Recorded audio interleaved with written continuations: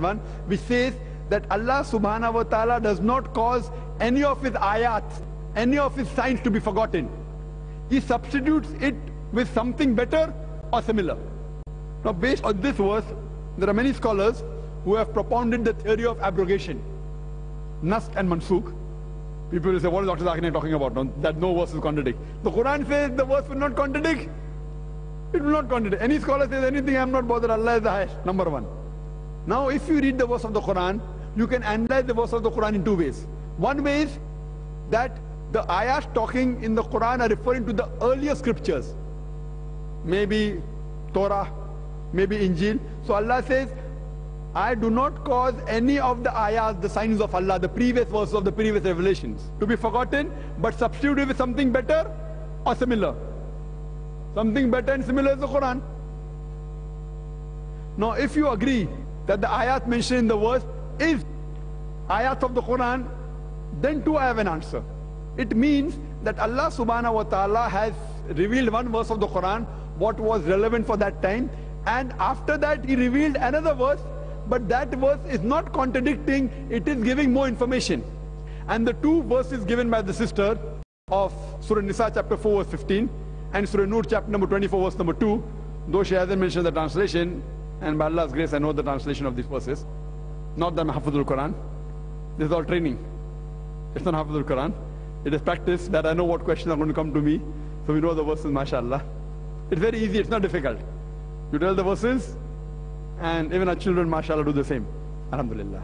Surah Nisa, chapter number 4, verse number 15 says that if anyone is caught in fornication, if any woman is caught in fornication, then keep her in custody in house arrest like. Seclude her until she dies or Allah ordained something else. And then Surah Nur chapter number 24 verse number 2 says that as for the fornicator, person who commits fornication, give them punishment of 100 lashes. Now people will think, is there a contradiction? If the first Quranic verse of Surah Nisa chapter 4 15 said that put the woman in house arrest and a full stop, then Surah Noor of 100 lashes would contradict. It says that keep them in house until they die or until Allah gives something else. Now for this, Allah has given two options. In the Quran, for a fornicator, there's 100 lashes. And in the hadith of Sahih Bukhari, for the adulterer, the punishment is thrown into that. So this verse of the Quran does say that Allah will give some other punishment later on. If that part wasn't there, there would have been a contradiction. So there's no contradiction. It says that this punishment is temporary. Later on, Allah will reveal something else. Similarly, there are scholars who have written that there are thousand verses contradicting. Some scholars then came to 500. Suyuti, I think, came down to 22. Another scholar came down to 5. I have verified those 22 and 5 also. I have answered those also, Alhamdulillah. And one of them is this. What we realize in Mansukh and Nask, what happens that Allah, in some prohibitions, He has brought in stages. And the best example I give is of alcohol. The first verse to be revealed regarding alcohol is Surah Baqarah chapter 2 verse 219 where Allah says, in intoxicants, there is loss as well as profit. The loss is more than profit. This verse of the Quran does not prohibit alcohol. It only says in intoxicants there is loss and profit. The loss is more than profit. The next verse to be revealed of prohibition was Surah Nisa chapter 4 verse 43 which says that do not pray with your mind befogged. When you are intoxicated, do not pray. That means it's a higher degree now. Previously did not say it was haram. It only gave you guidance. In intoxicant there is loss and profit, loss is more than profit. Next verse says, do not pray with your mind befogged. When you're intoxicated, you can't pray. Now since a Muslim has to pray five times a day, indirectly he can't have intoxicant the full day. In night, option is there. Not anything you should have.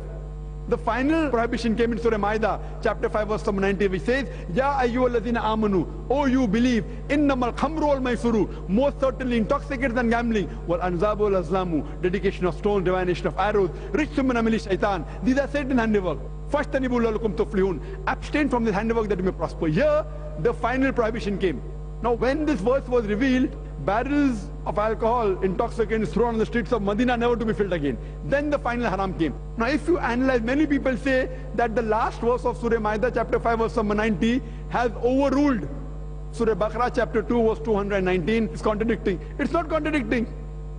It is giving more information. The first verse only told you there is loss and profit. Loss is more. Even today the verse is applicable. That verse is even correct today. Even in intoxicants today there is loss and profit. We as medical doctors know there is profit. But the loss is more than profit. The next verse says, don't pray when you're intoxicated. Even today that is applicable.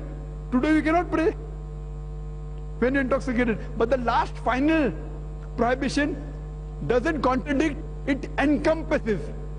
For example, I say that I live in UK. Fine. Then next day I say, I live in London. Third day I say, I live in Harrow. Now moment I say Harrow, London and UK is understood. But my first answer, I live in UK, was a general answer. Then more specific, I live in London. When I say I live in Harrow, it is more specific. It's not contradicting my first answer. So the last prohibition that the alcohol is prohibited is not contradicting that in intoxicants there is loss and profit. It is yet there. It's not contradicting Surah Nisa chapter 4 verse 43 that you cannot pray when your mind is befogged, when you're intoxicated. So this means there is more information. The last verse of the Quran, if you follow that, the earlier two is automatically followed. It's understood. So therefore, according to me, and according to Allah subhanahu wa ta'ala, there is not a single contradiction in the Quran. If there were any contradiction, this book cannot be the word of Allah subhanahu wa ta'ala. So I disagree with anyone, let him be the greatest scholar in the world. And I challenge anyone, whether Muslim or non-Muslim, to point out a single contradiction in the Quran. They will never do it and never will be able to do it.